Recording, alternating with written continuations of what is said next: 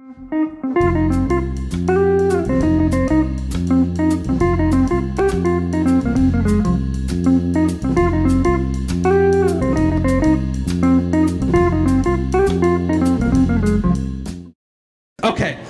Our next poet coming to the stage, please make some noise for Miss Antonia Harold. A little bit louder, please.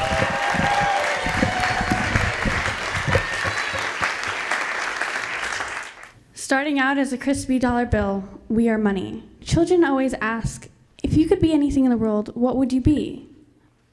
But they never ask, what about we? What are we, humanity, hu- human race? We are money. You see, starting out as a crispy dollar bill with purity, and we have the scent that all newborns have freshly printed ink.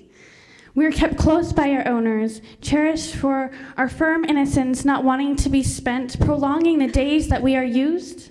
But eventually, like everyone else, we are tempted by the candy store, and we overcome, and then we are shoved into the cash register and brutally organized by ones, fives, twenties, tens, and taught at a young age to conform and expected to know in a short time to be pushed into the real world and where we want to go next, where we're supposed to be, who are what are we supposed to support.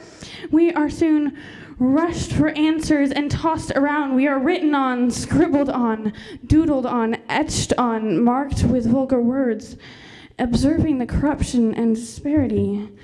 We are then shoved into the pockets ravenously of the hobos begging on the street, pushed into the bra of the uh, pushed into the bra of the of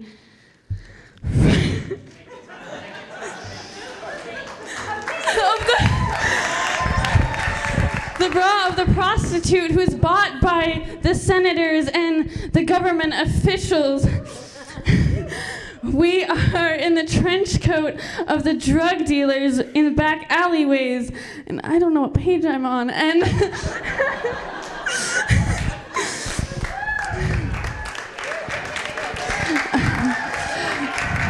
drug dealers in dark alleyway, cradled mad by the dishonorable food companies, withered and worn, ripped and torn, abused, misused, then dropped in the streets, lost and forgotten, lonely and cold and marveling in self hate for all the wrongs that we've partaken in. But there's hope. We are picked up again. Like lightening someone's day, we are that good luck charm. We make a difference. We are placed comfortably inside that warm leather wallet that is our safety again.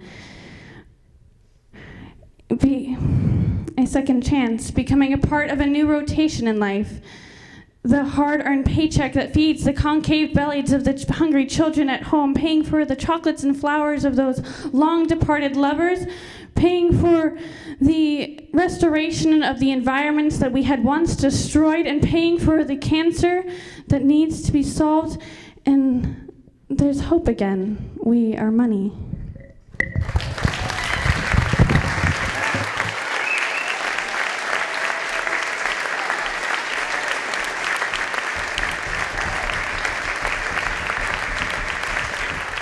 So uh, I want to give extra props to Antonia because I have been that person who's like, what page am I on?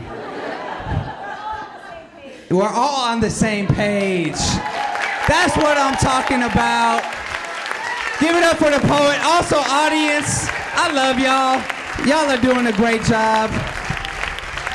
Um, I also just I want to give it up because I was feeling that poem. Uh, you know, you know, as someone who uh, sometimes has fe- failed, felt. See, I'm, I don't know what page I'm on.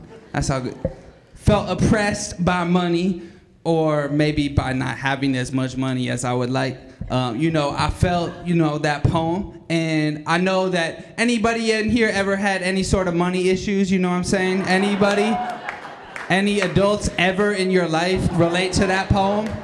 Um, or young people? Yeah, two hands. Wow. Okay. Feel for you, brother. I, I see you.